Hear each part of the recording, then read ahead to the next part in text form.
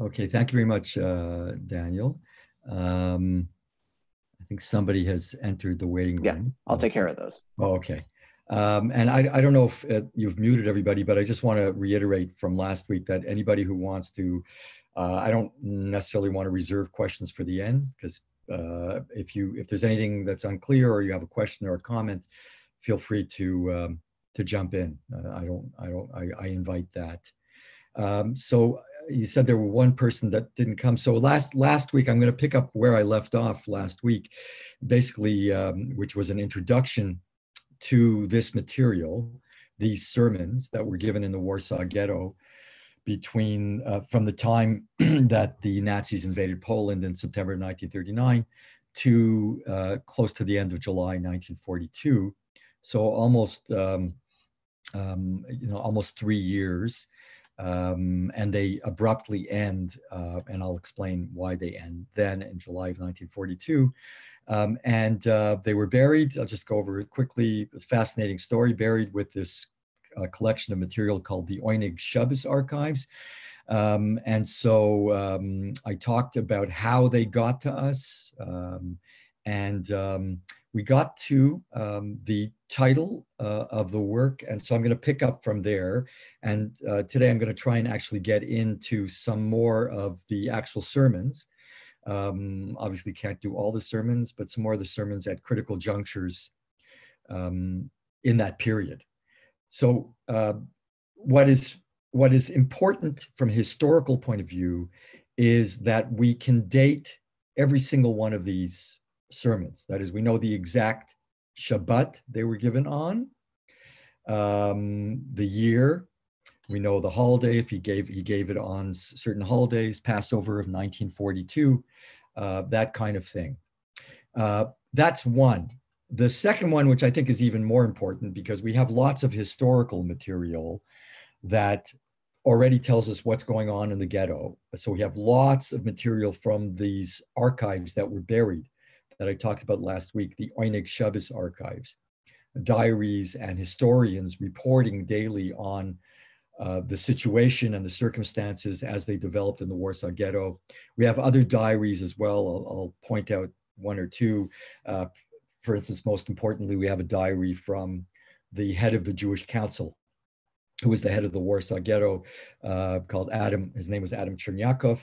Um, I may talk a little bit about him uh, later on. So more importantly than historical value is the, I think the, the theological, philosophical value of these sermons uh, because it is, uh, and I, I, I, made this statement last week and I, uh, I hold by it, the, the only one we have of somebody, the only one, remember that, the only one we have of a rabbinic figure who is struggling with these, these deteriorating circumstances in the pit of hell, um, even worse, um, from day to day, and struggling with his faith, struggling to preserve his community's faith. At the same time, it's not just faith, it's struggling to preserve them, uh, they're spiritually and psychologically, uh, mentally, all this goes together. Um, so it is really, really important, uh, certainly for um, Jewish theology and Jewish religious responses to the ultimate catastrophe that has occurred in Jewish history. Perhaps the ultimate catastrophe that has happened in civilized history altogether. Um, so, so that's that's what's even more important from my point of view um, it, than the historical value of it, which is also very important. And so, um, so I'm gonna I'm gonna share my screen with you now and go to the slides um, and continue with the slides from where I left off. So, if I can. Okay, so uh, I hope you can all see that now. Um, if you don't, definitely let me know. So um, if I can, hold on a second. Um, just uh, one second. I'm just going to, um, oh dear, stop sharing for a second. And um, is there some way I can kind of block the, because um, it's taking up my screen, the, the pictures of people coming in? Does anybody know? know you can, you can, um, when you're in screen share, um, there's on the top of the pictures, there's like a, a go into screen share. It's easier once you see it. Oh, yeah. Hi, Rabbi Friedman Cole. How are you? um, okay. Fortunately, so. also go study with David Novak tonight. Oh, okay. Not unfortunate, but. okay. Give him my regards. Uh, a half hour. Okay. I, so you'll see above all the pictures, there's a, a, a grid and then like two horizontal bars above each other, et cetera, et cetera. Um, at, at the top of the people's of where of where other people are. Oh yeah, right. On right, the left of it is a s- single horizontal right. line. Okay, gotcha. Press that. I got you. Okay. So um, I ended off, I'll just start off from there. I ended off last week with this slide which is the title that he gave to his sermons, which is not really a title, it's a kind of a non title title.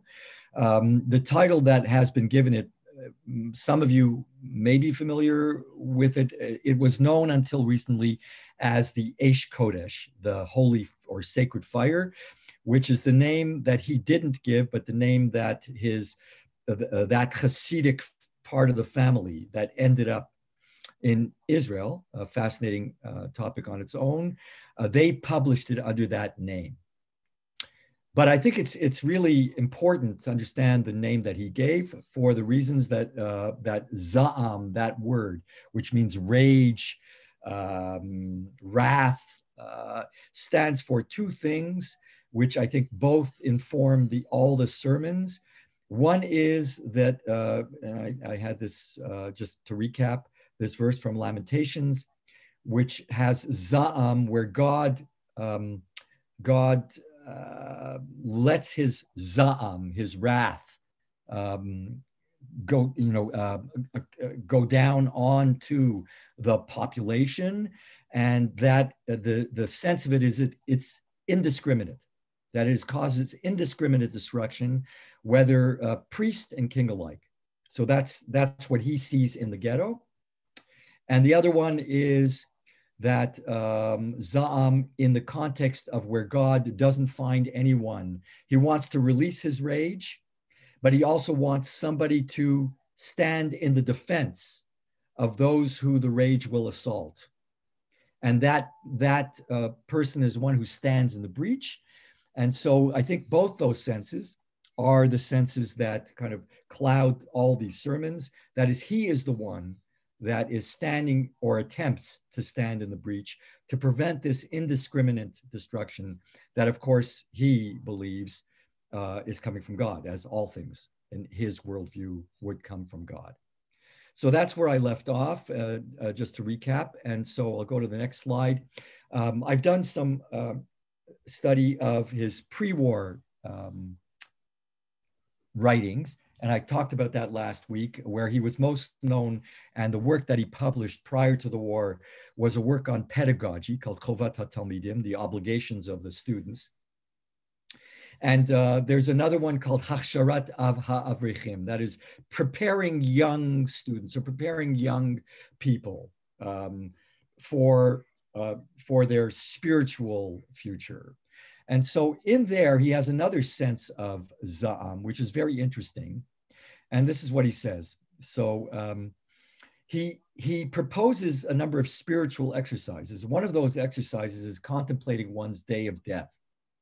And so he says, imagine a terminally ill person caught in the throes of intense pain, so unbearable as if his entire body is disintegrating to the point of feeling swallowed by the grave. So literally imagine that one is literally on, uh, you know, death's edge.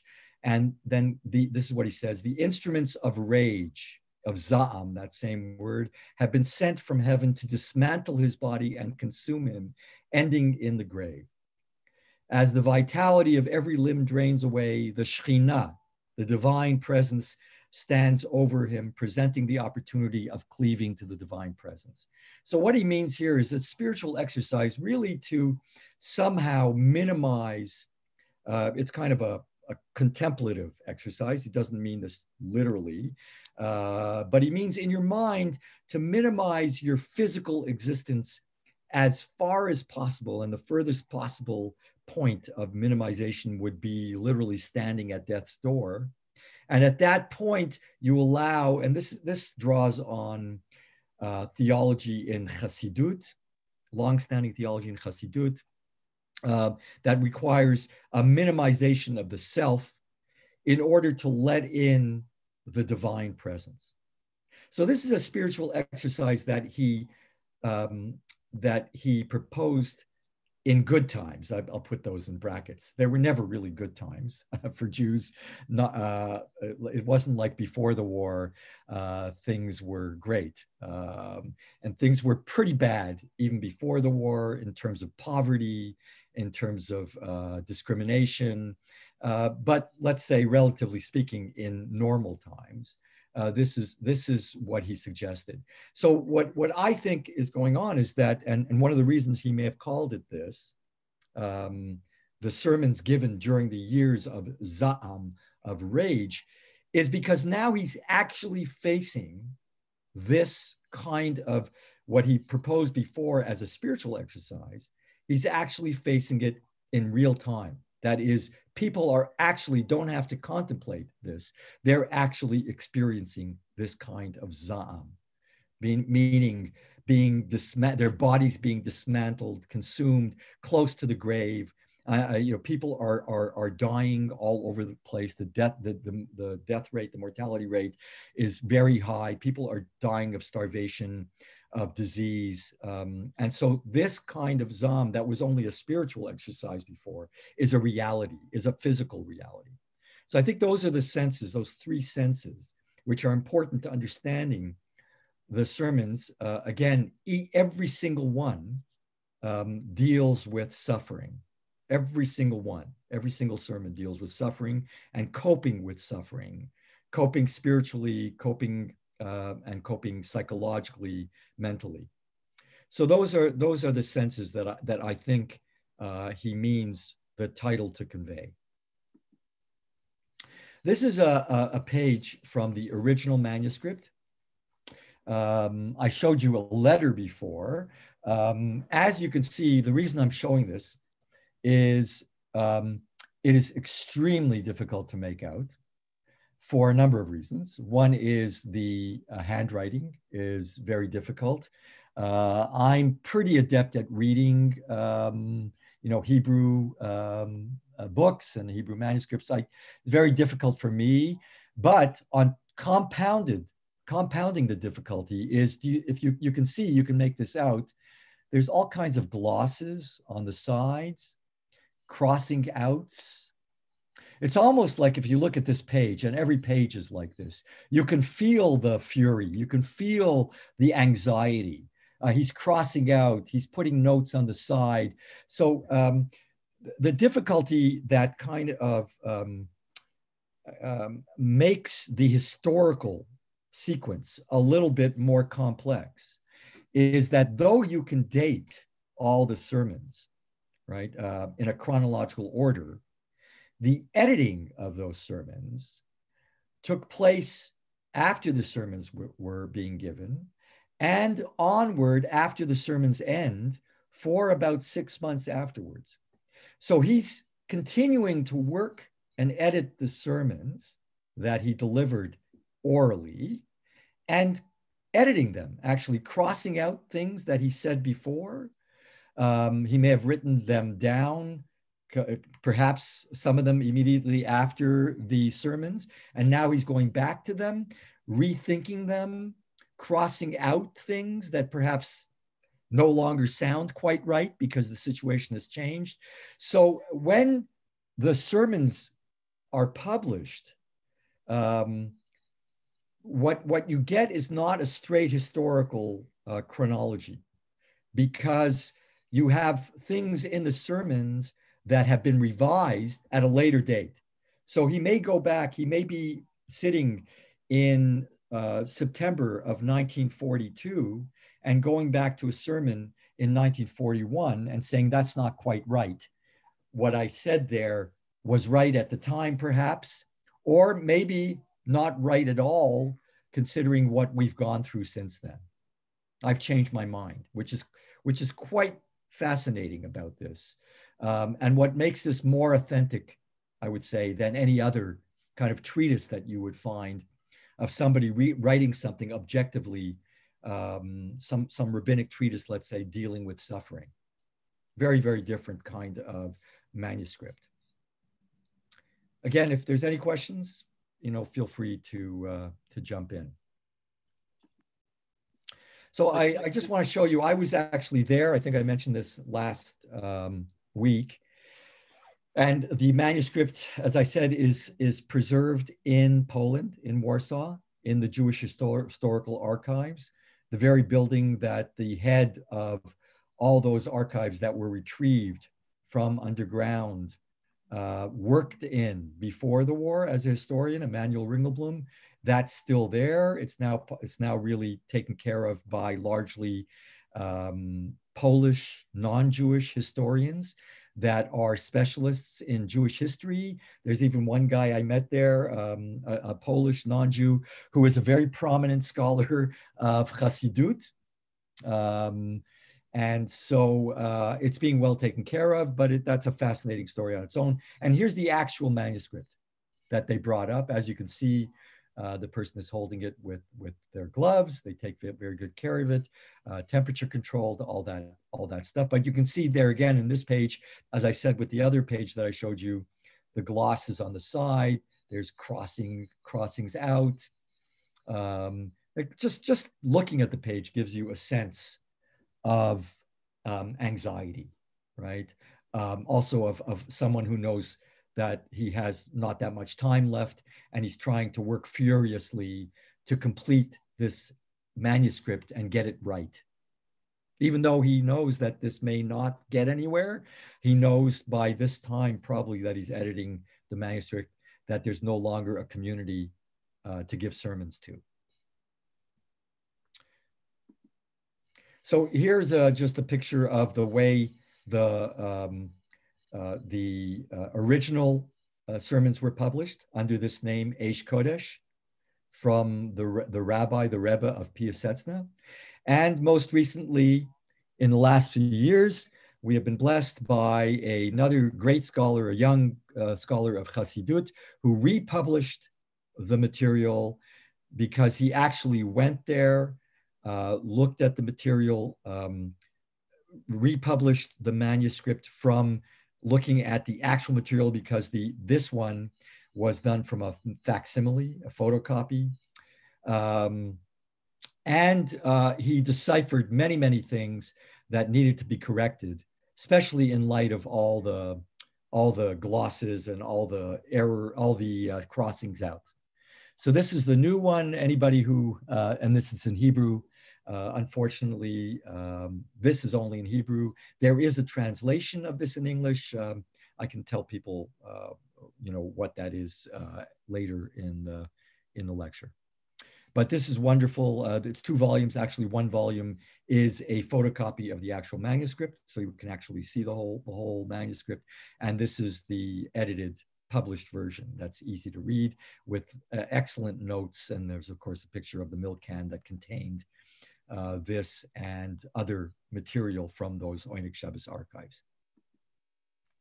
So I want to go uh, into the sermons now, uh, get a little bit into the kishkes um, of the sermons, now that we have the background, the framework, uh, a bit about who this man was, um, what his intentions were in um, delivering these sermons, and, and more importantly, in transcribing them.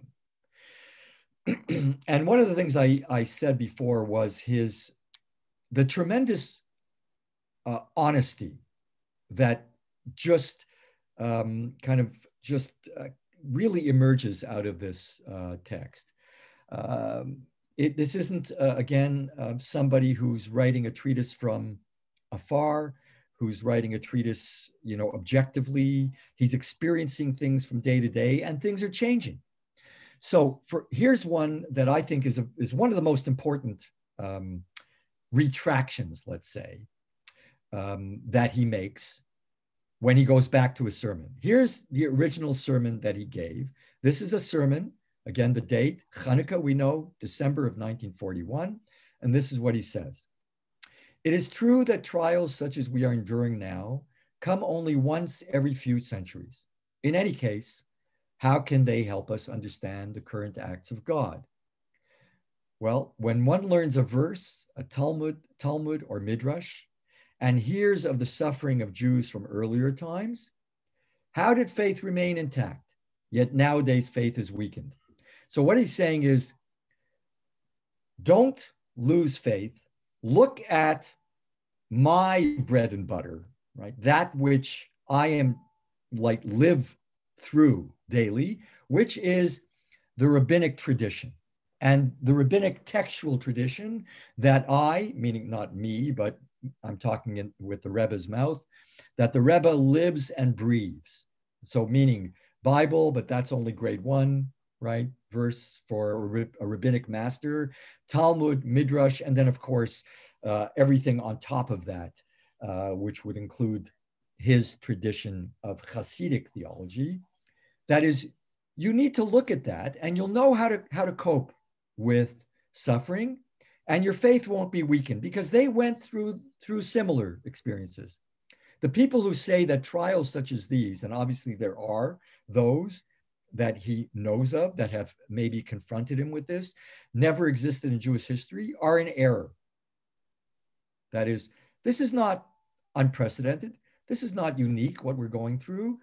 We've been through this before.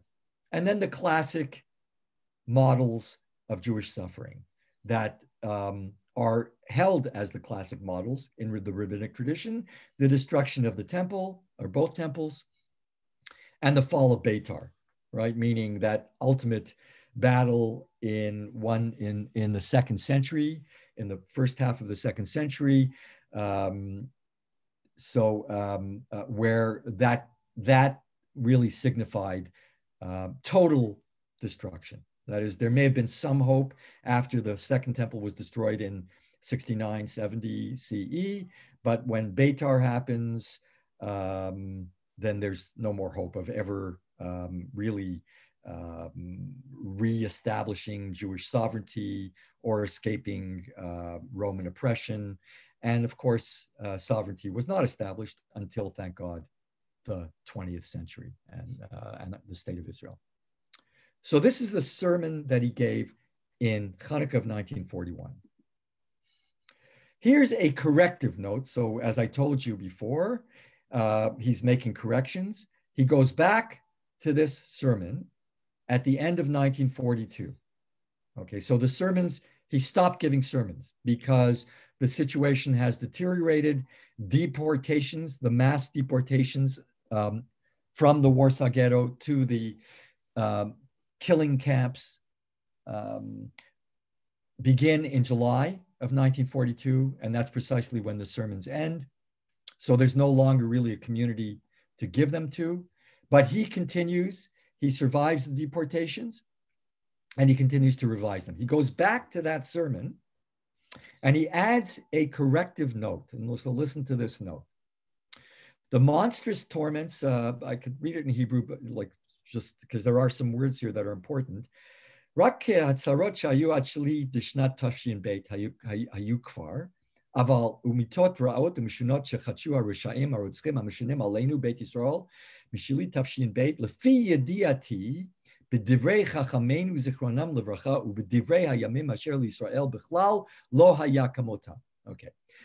The monstrous torments, the terrible and freakish deaths which the malevolent murderers invented against us, the house of Israel.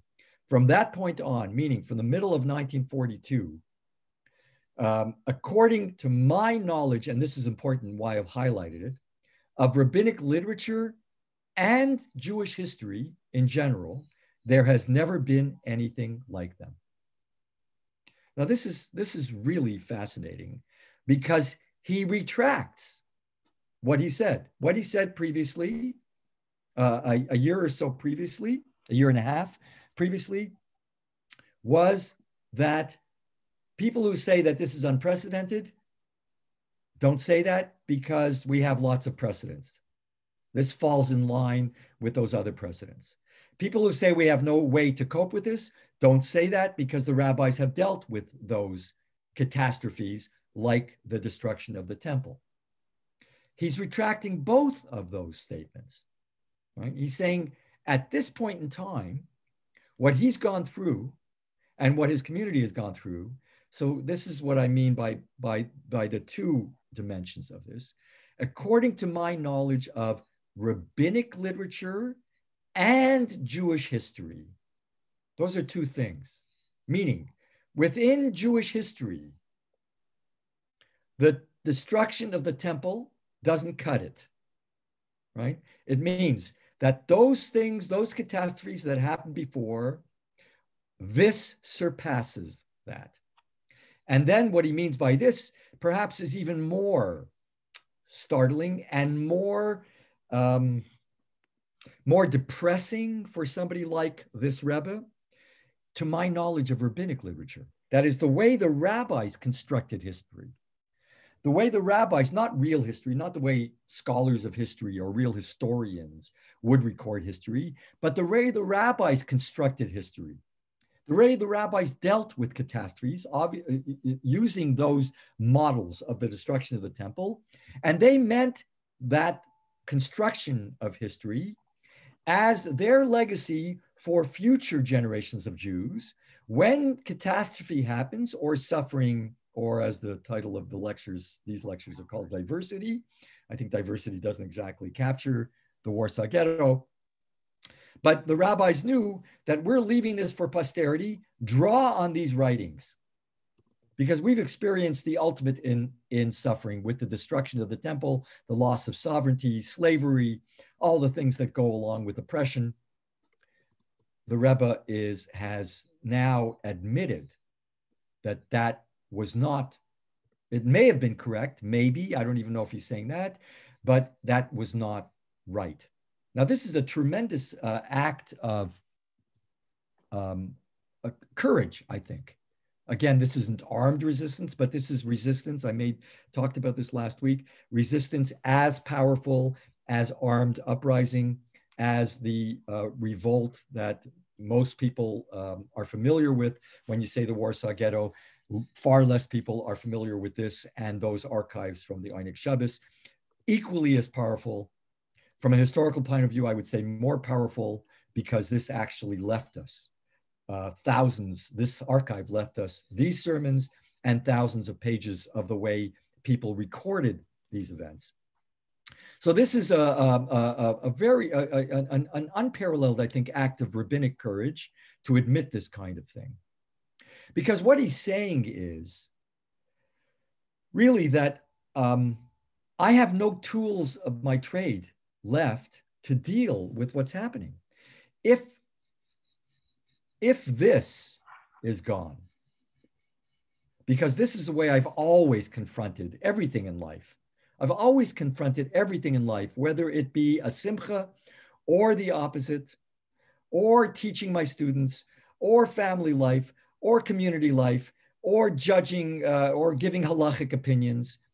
This is what I draw on. So imagine this is his life's blood. He sees everything, he sees the world through the lens of rabbinic literature. If he's, uh, if this is removed from him, then that is a pretty drastic um, event, pretty catastrophic uh, in this Rebbe's life. And so this is this what I, this this particular corrective note I find um, really striking. Um, and by the way, when he leaves these corrections, they're marked off with different kinds of marks, like an asterisk or a dash or a star or something like that. And he has a kind of a glossary uh, telling whoever will find this that when you find this kind of a corrective note and you see this particular sign, this particular asterisk, it means change, um, just uh, uh, erase what was there originally and insert what I, what I have corrected. But this, the mark that he had for this, is a kind of mark where he says, keep my original and keep the correction so that people can see my retraction. Quite extraordinary.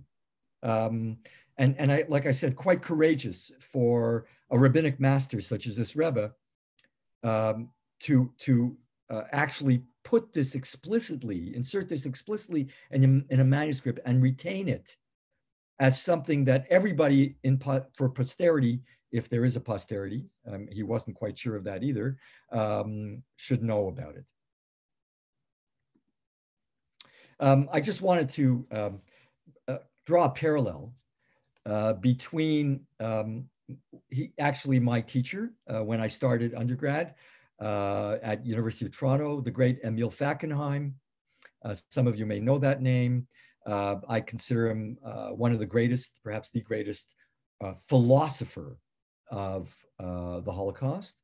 That is one who confronts the Holocaust with the uh, impeccable philosophical credentials, credentials and, and not approaching it uh, somewhat theologically, but philosophical theology. Um, and so in one of his later works in 1986, What is Judaism? He did not know about the Rebbe or the writings before. Um, and he he was um, exposed to the Rebbe's writings by that scholar I told you about last week that uh, brought these writings to the English-speaking world. And he says more than 40 years later, when all is known, what Rabbi Shapira said in 1942 is still widely denied. He's talking about that note. Though the worst was unknown to him then, the rabbi did not shrink from the terrible truth, meaning that there was even worse to come, of course. Uh, he hadn't experienced the concentration camp yet, uh, and he ultimately was deported um, to a, uh, center where there was a mass execution. Now, it's no wonder that Fackenheim was drawn to this particular note because he's most famous for uh, statements that he made about the Holocaust as being a rupture within Western civilization, what he called a caesura, a kind of break, um, an actual break um, with uh, something that is unparalleled, unprecedented.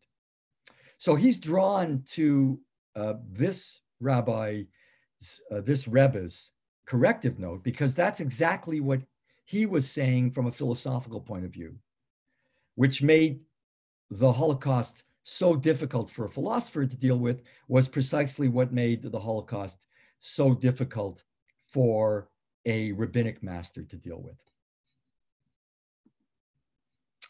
Now, um, I want to take you to, um, again, one of the more extraordinary sermons. Um, and this was given actually right at the beginning.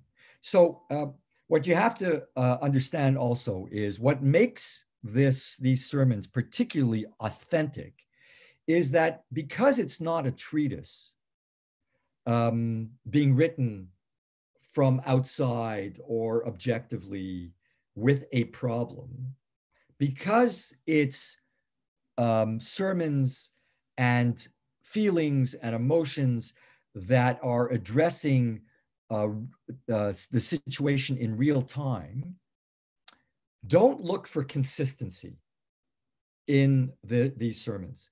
He fluctuates. Sometimes he'll uh, say something like um, what he said in that original sermon in Hanukkah. Sometimes he said, he'll say something like, "This is happening because of our sins," and then he'll he'll he'll retract that later on. Um, so uh, what makes it authentic from an existential point of view is precisely that feature of it, is that this is a man who's struggling from week to week, from month to month.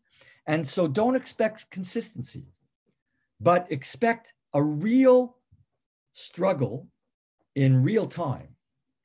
And so this is something that is extremely, I would say, radical, that uh, launches almost launches the sermons right off the bat. So this is a sermon. He gave one sermon before on Yom Kippur, 1939. So in September, beginning of September 1939, the Nazis invade Poland, are bombing. And there's um, a number of weeks of silence, about five weeks of silence between the first sermon that he gives and this sermon, which is on Chaye Sarah, which records the death of Sarah. Now, before I uh, get into this particular sermon, I may not even have that much time to get into some of the other ones I have prepared. But if this is the only one uh, we get through, then uh, then that's fine too. Um, the background to this and the reason there were no sermons from Yom Kippur until uh, Chaye Sarah, meaning not on Sukkot, um, is that the, in the initial bombings, uh, and I mentioned this last time, he his only son was killed. His mother died. His sister-in-law, who had been visiting from Israel, uh, was there, was killed, and his daughter-in-law were killed, all in this one bombing. And so this is the first sermon he gives after his son, in particular, dies, because that's particularly relevant to this sermon. So some of you might know um, that Chaye Sarah, or the death of Sarah, that portion of the week that's read um, that begins with the death of Sarah, is recorded in the Bible chronologically immediately after the Akedah, the narrative, the episode of the binding of Isaac. And of course, um, the rabbis uh, find meaning uh, in everything, including chronology. And so they find uh, much meaning in the link between events, right? Why, why is this list? Why is this in particular? And this is a question they'll ask all the time. Why is the death of Sarah recorded right after the Akedah? And most famously, it's a famous midrash. Uh, some of you might know it. Is that Sarah dies as a result of the Akedah. That is, it's a logical consequence of the Akedah because news comes to her that Abraham has gone out to slaughter their son. This is Sarah's son, Isaac. And before she hears the uh, conclusion to that, she dies. She dies. Now, um, that's what this sermon is based on. And so um, here's what he says. And remember, this is the link between a woman who believes that she's lost her son. The Rebbe is giving this sermon after he has actually lost his son. Even though our mother Sarah took the binding of Isaac so much to heart that her soul fled from her, she died for the good of the Jewish people. She gave up her life in order to show God that Israel cannot bear too much suffering. Even though a person with the mercy of God may survive his suffering, elements of his strength, his mind, and his spirit are broken and lost to him. Now, this is this is really, really striking. I'm going to just read the second part of it. This explains the meaning of the words these were the years of the life of Sarah. That is, she lived for, and this is the way the verse um, records it. She lived for 100 years and 20 years and seven years. These were the years of the life of Sarah. So, of course, since every uh, word in the Torah means something, the rabbis, um, and this is um, cited by Rashi, the famous um, interpreter, probably the most famous interpreter of the Hebrew Bible. Why does it repeat years? Why does it say 100 years, 20 years, seven years? Why, why not just say she lived 127 years? So the famous um, midrash that Rashi draws on is that it tells you that each component of her life was equal to the other component. Uh, that is, when she was 100 years old, for instance, she was equal to the um, age of seven in terms of sin. She was innocent, as innocent at, a, at 100 as she was at seven. The Rebbe adds his own. So he, this is adding to the rabbinic literature that he was talking about that addresses catastrophe. Uh, this is what I would consider adding to the tradition in how to how to cope. Uh, and I'm, I'm not sure that this is an answer, but it adds. These were the years of the life of Sarah. Why why add that? You know, it, it already says uh, these were the this is the lifespan, and then these were the years. He says that adds something. For it might appear that Sarah sinned by shortening her lifespan. Had she not taken the binding of Isaac so much to heart, she would have lived longer. And we all know that suicide, of course, and I think, not I think, uh, it seems to me clear that what he's saying here is, and I do not know of anyone else, as far as I know, no one else has ever said anything like this, that Sarah committed suicide, suicide to teach God that suffering might have some value, some redemptive value, some purging value, but when it is excessive, then you end up with brokenness. Um, and so the Torah, by adding those years, the Rab, the Rebbe actually picks up on where that midrash uh, leaves off with the sinless years, and he says even those years she would have lived, another few years, are also sinless, meaning she would have been considered a sinner if she commits suicide because she did it for the sake of Israel for the sake of Israel. These were the years of life, meaning all the years of Sarah's life were equally good, including the years that she would have lived beyond 127. So this is this is fascinating, and it's something obviously that he's feeling. He thought before he gave the sermon, before he experienced personally this kind of loss, that sin um, has value. Sin has redemptive value. Sin cleanses sin purifies, but he understands that this, uh, I'm sorry, not sin, suffering, sorry, scratch that, suffering purifies. But having gone through this, he knows that this is just devastating. This just breaks a person down um, and has no value whatsoever. And so she did this. She actually gave up her life intentionally to teach God. And this is something that um, draws on Hasidic theology. It's kind of startling in a way to think, you know, teaching God, but this is very, very um, t- teaching God or that God learns from human beings or that human beings affect God. This is very deeply rooted in Kabbalistic literature, in Hasidic theology, but this sermon takes it to a different level. That is, in a sense, God kind of lives in an ivory castle, one could say right? In an ivory castle. Um, he needs to be jarred every once in a while and look at what's going on down here. So in theory, suffering is imposed, um, you know, for purifying reasons.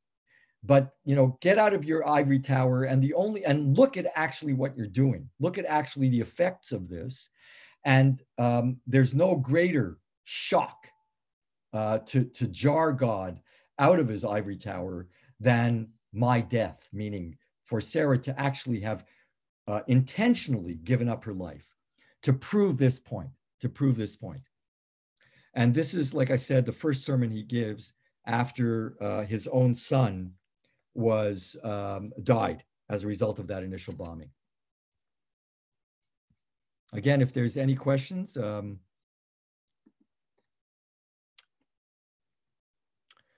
Um, here's another uh, corrective note. Um, I'm just turning to another sermon, uh, which shows you uh, how bad the situation um, has developed when he's doing these corrections. Um, in a sermon, uh, which is quite late, towards the end of the sermons, uh, June 27th, 1942, which is about a month, Parshat Chukat, which is about a month uh, before the sermon's end he says, uh, you can read this in Hebrew, but he says, uh, uh, historically, children, our children have borne the brunt of anti Semitic oppression.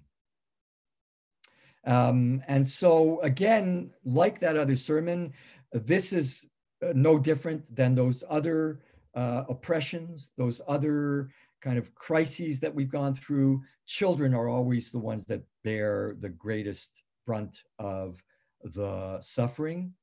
And then he has here a note. Lahashlim im Hashem hachaser. This is, there's something missing here, he says himself, to be completed later. And this is what he completes later. We're not quite sure when, but after the sermon's end. This is uh, a picture of the correction and the insertion.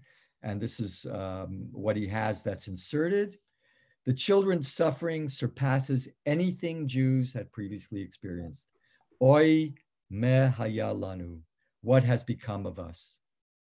This is very, very similar to that corrective note. It's not uh, an explicit theological corrective, but it is a historical corrective that feeds into that theological, what Fackenheim would call a novum, a brand new kind of event that we've never experienced before, that though we've experienced this and children have experienced this kind of oppression, uh, what we've been through, this kind of suffering on the children surpasses anything we've previously experienced. Uh, uh, this, by the way, the note here, once again, is a note that signals to any future readers or editors that the correction and the original is to remain. That is what he wrote here. Insert, to be completed later, to insert is to remain. Um, and here's one, I, I think I'm, I'm not gonna, um, you know, take up that much more time. Um, I want to um, talk about uh, another sermon, which is this one, again, very close to the end. And this is picking up on uh, something you may recall, uh, or something you recall we do every uh, in the High Holy Days, Yom Kippur. There is a central uh, prayer. Uh, it's also a midrash. it's it's well well recorded in the midrashic tradition in various forms of the ten martyrs, the ten martyrs tradition. Those asara haruge malchut, the ten um, you know rabbis who were tortured and uh, killed by Hadrian, uh, the Roman emperor. The most famous of them is, of course, Rabbi Akiva, you know, whose flesh was literally um, torn off him uh, as he was tortured. This is what um, the, um, the original Midrash um, said. That is the original Midrash in the prayer, actually, we have it that is the angels, the angels started to scream and cry and complain to God as these 10 martyrs, this is in the original Midrash, were being tortured. And the angels themselves are depicted as not being able to take this anymore. And they, they accuse God, um, or it's kind of accusatory tone. This is Torah, and this is its reward as they're seeing all these various expli- tortures that that are explicitly kind of described in that prayer. Um, and so God tells them, and this is the original, the original midrash. God says, "If I hear one more sound to the angels, I shall turn the world into water, or I shall turn the world world back to its original state of chaos." That's a that's a, another version of the midrash of tohu and bohu. And now this is so so this is that's the original. This is what the Rebbe now says. He turns this midrash back at God. Now that innocent, angelic, pure children, again the children, as well as great Jewish saints, that's again the indiscriminate devastation, who are even greater than angels, are being killed and slaughtered only because they are Jews are filling the entire space of the world with these screams. And this is a question mark. And the world has not reverted to water, continues to exist as if nothing has affected it. What the Rebbe is doing is he's actually taking that midrash and throwing it back at God in, in the attempt. By the way, these sermons are also not just um, not just kind of um, trying to have his community, addressing his community, and uh, kind of spiritually tempering his community, spiritually advising them, trying to help them cope. They, I think each and every one of them are also kind of what we call theurgic, are meant to impact on God himself. The way he interpreted, for instance, that midrash about Sarah is not just meant to, uh, to address his audience, but it's meant to address God. It's meant to impact on God. Turning verses back on God. Here he turns this midrash back on God. God himself there says, I can't take any more screams. And if you scream, meaning to the angels, if you scream every lo- any longer and hurl this accusation to me that, um, you know, Torah, it seems that these martyrs, I mean, they're, they're great Torah scholars and they're not rewarded. In fact, quite the opposite, that that's true. That's a truism. And that's true. And God says, don't, don't, don't say anymore because you'll force me to actually destroy the world. So uh, the Rebbe is saying, now that that screams are not just coming from angels, screams are, are enveloping the entire world, and and the world does not slip back into chaos, does not revert to, to water, the floods aren't coming streaming in, that means you're just standing by, apathetic, apathetic to what's going on. Um, so, um, so that's another sermon where he kind of turns back uh, a midrash, just like a just like those verses, back on God, trying to impact on God uh, to change His ways, to change the ways of imposition of suffering so I want to I want to just um, end because um, um, the time is uh, wearing on. And uh, as I said last time, I'm very wary with my students of Zoom fatigue.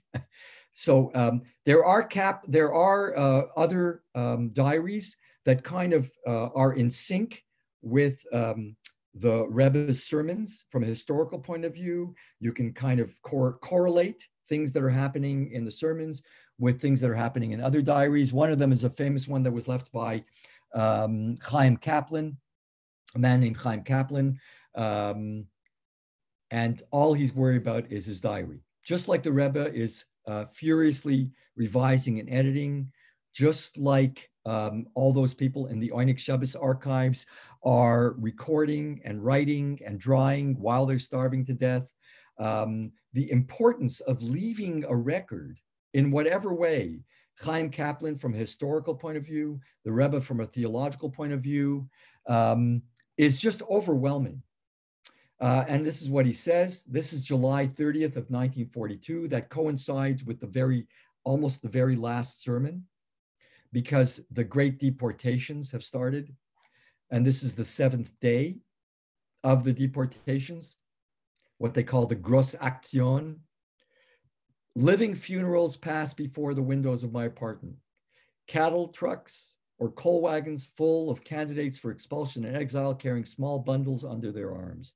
Their cries, remember what the Rebbe just said about children, children's cries, just taking up the entire space of the world. Their cries and shrieks and wails which rent the very heavens. Very, very similar, but he's not, Chaim Kaplan is not doing it from a religious perspective. But he's describing the very same phenomena that moves the Rebbe to um, confront it in his way, and that moves Chaim Kaplan to confront it as a, a, a historian with a diary, filled the whole area with noise. Now they've stopped because they're deporting everybody.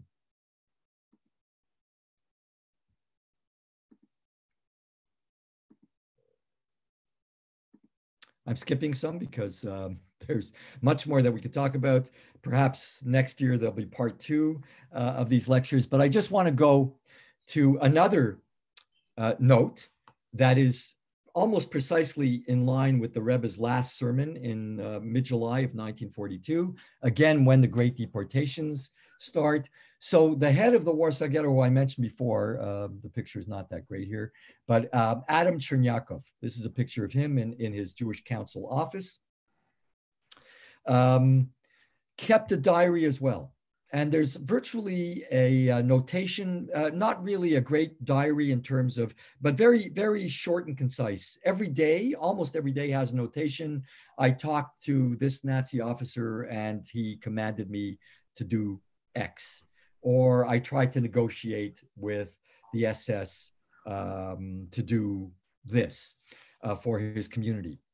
But when the deportations start, uh, what they demand of him is unbearable because at this point in July of 1942, uh, what they're telling him is you need to deliver us a product.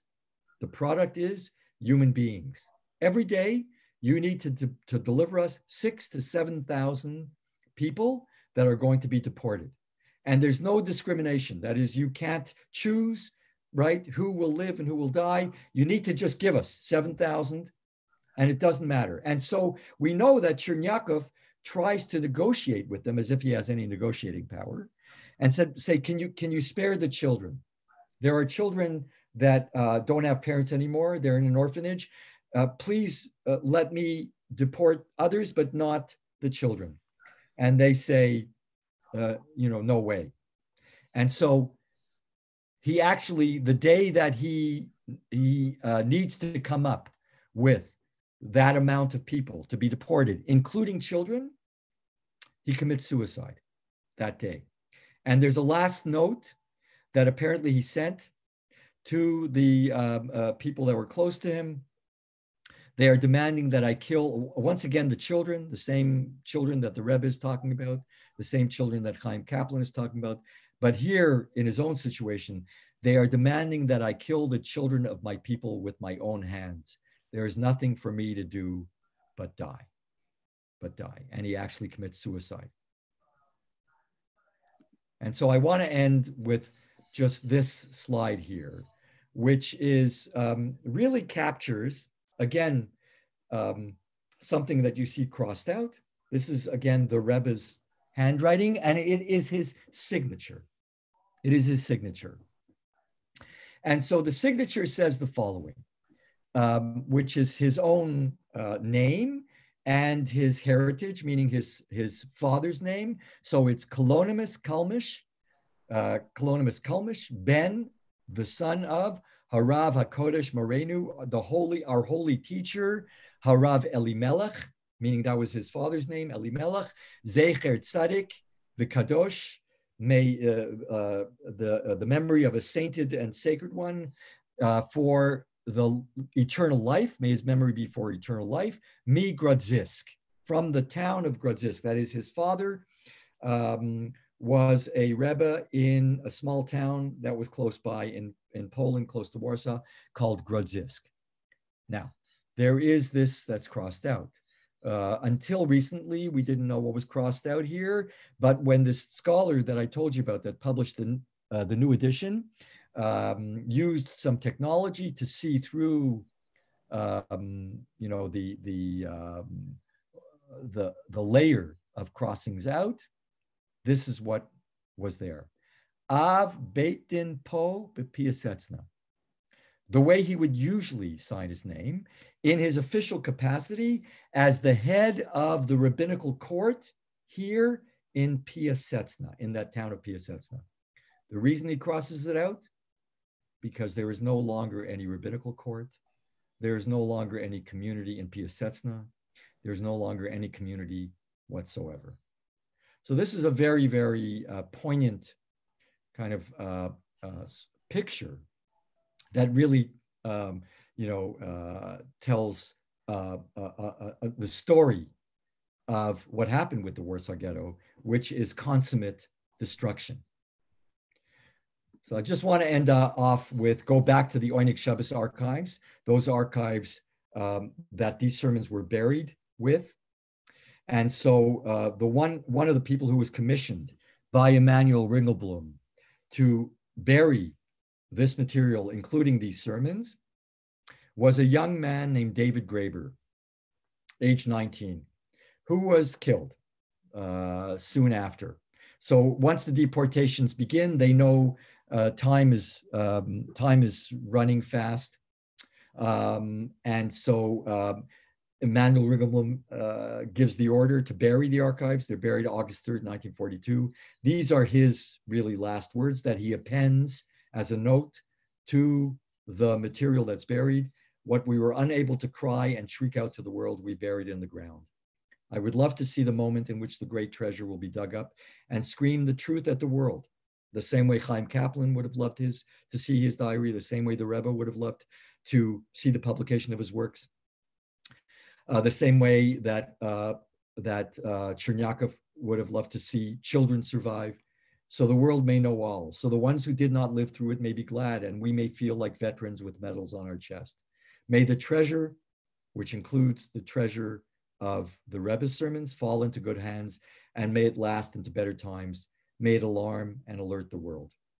And so I would say that um, these sermons, um, it, it's almost a sacred obligation for people to be aware of all of these sermons and all this material, um, exactly the way this uh, David Graber um, proclaimed that may it last, may it alarm, and may it alert. The only way that these sermons and all this other ter- uh, material can last and can alarm and can alert is for them to be known and for them to be read.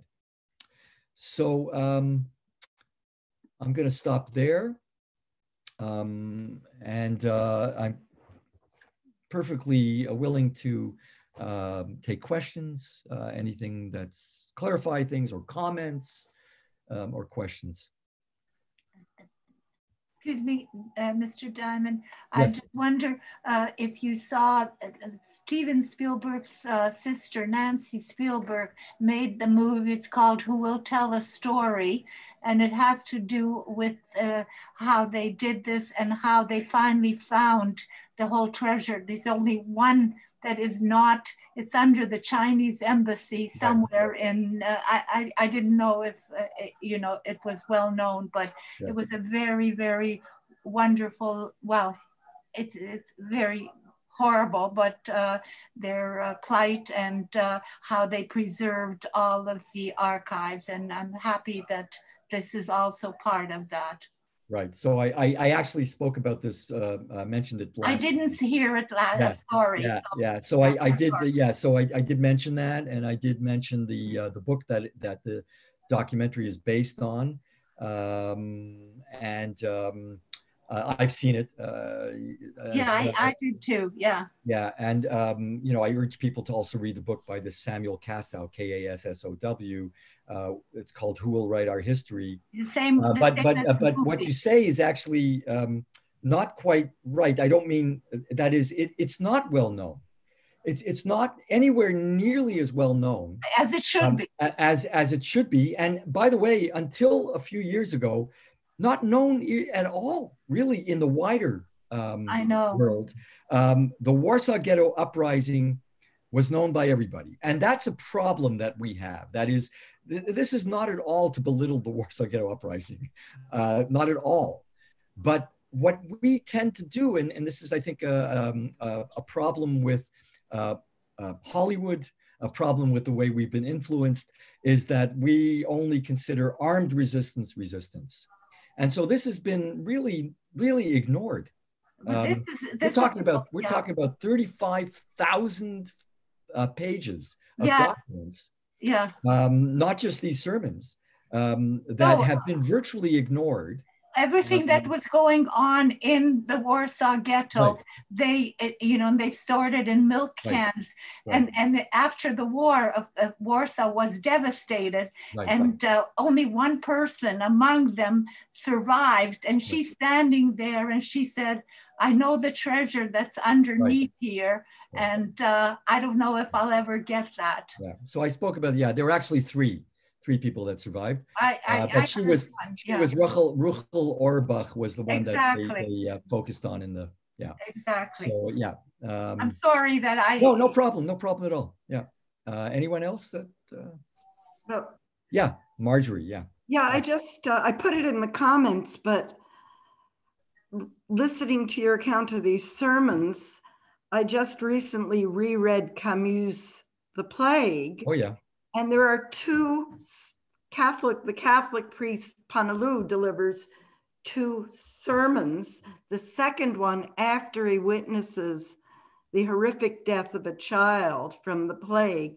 And you watch him going through contortions to try to still maintain his faith Right. against what he has just seen. It would be interesting to juxtapose the two. You probably tell a lot about comparative theology. Yeah, no, that's a good point. And of course, the the plague has become a bestseller again Yes. after after a lot of years. But that's a, that's a very good point. Obvi- of course, uh, you know the this cuts across traditions. You know, it, it you know um, you know Christians uh, all in the tradition also deal theologically with suffering. Um, you know, uh, this is a, a the, the the problem is the same, but the tools, right, that the Rebbe has, the rabbinic tradition is different, of course. The, the textual uh, tradition is different. But that, that's a very good point. To, I'll have to go back and, and take a look at that um, Yeah. and, Yeah. and see. Yeah, yeah. Thank you for that. Yeah. Anyone? Um, anyone else? So is, is this where, um, because I've been actually studying and I'm on a journey of reading his work in, in English and Yeah. studying with, with um, a rabbi, also the works that, that are being translated. So it, Derech HaMelech, these aren't the Derech HaMelech, right? No, no, no. So um, you mentioned, like I mentioned, some other writings. So there is. Um, I actually, I actually have that right here. so uh, what what you mentioned, Derech HaMelech, Yeah, those are a collection also of sermons before the war. Before the war. That's th- what I'm, studying now for, on the Torah portions. Okay, very good, very good. Right. So so this this cuts across this uh, But cuts he across. mentions, but he's mentioning in Derech HaMelech, he's mentioning the tr- he. It's just the beginning, but they're before the war. You know, there's some things that he's mentioning. That, So, right. So, Deborah, as I said before, um, when I mentioned one of his other pre-war writings, it's not like things were hunky-dory before the war, right? So before the war, it's pretty bad. Like I, I think before the war, you couldn't imagine greater suffering. I, I mean, the, the poverty, uh, you know, that that between the wars, between the First and the Second World War, uh, of Jewish communities were just just uh, unimaginable. Poverty, suffering, um, oppression, and so he's dealing also with suffering uh, very often in those uh, particular sermons that are, uh, like I said, in in this. Um, uh, and and so, but but in in the sermons given in the Warsaw Ghetto, it reaches a different level. It reaches a yeah, different level. obviously, uh, Yeah. it, it- that I guess it consumes. It's consuming Right. at that level, Right, right? The, the right. war and everything is consuming. That's right. That's right. Right. And keep on studying them. They're very Yeah, Very and I'm valuable. also studying the in English the Jewish spiritual growth. I don't know what the Hebrew is. It's um, it's just his meditations and Oh, visualizations. okay. and all right. Good. Good. Uh, Paul. Yes, thank you. W- wonderful to talk. Thank you very much. My attention was drawn uh, uh, to the uh, uh, an alternative uh, uh, uh, answer or an approach to an answer to this uh, terrible suffering. Uh, th- those are the writings of Viktor Frankl, and he developed his logotherapy Right. and found some me- uh, the the, uh, the man's search for meaning. So he has he has a different uh, outcome, but still it's his efforts to deal with this un- incredible amount of suffering, just Yeah. the same way that uh, Rabbi Shapiro was was uh, was uh, dealing with. Absolutely. so th- these, yeah, absolutely, Paul. Th- These are very different, but but dealing with the same kind of issues. Him him from his kind of psychological with his training, uh, you know, uh, through that's that's his tool of trade. Uh, the Yeah. Rebbe is dealing it with rabbinic literature, and that's his tool of trade. Uh, you know, Camus is dealing it from a philosophical uh, standpoint, uh, although that's a that's a novel, but it's a novel uh, written by philosophers. Philosophers don't usually write great novels, but um, but that, that you know that that that's that. So I, th- I think you're quite right. It, it's it's actually a good exercise um, to read these things kind of together in a way um, and see how uh, different you know different perspectives each one dealing really from the depths depths of their being uh, with with the with the kind of material that they know best. Yeah. Exactly. Exactly. Thank you. Thank you. Anyone? Anyone else? All right, good. I So just feel compelled to say what I've just what Oh. I've just read most recently is that it was just sort of to to bring Abraham because that's where we are in the parshas. You know, he's talking about how Abraham's life was. It, it- he, people were were uh, worshiping idols and the world was burning, and then he talks about his life, about the the life of and how these two lives right, just Right. amazing. His Right. his writings are. right. I mean, that's what happens. They they they view the world through the lens of, you know, through the lens of the Bible and and of course the Talmud and and the midrashic tradition. Yeah. Okay. I guess we'll um, we'll get end there. So um, I want to say thank you. Um, first and Thank foremost to Professor Diamond for uh, for joining us last week and this week, um, and for sharing this material that is um, uh, in some ways, right, you know, very very pain-inducing um, because we we know the tragedy that that came of it, even as apparent as it was to to the author himself, um, but uh, also uh, uplifting in a way because um, we've been able to be on the other side of it and uh, see the resumption of Jewish life um, in a way that probably was was only a, a glimmer of hope um, for for all those who were um, you know in the experience of the Shoah.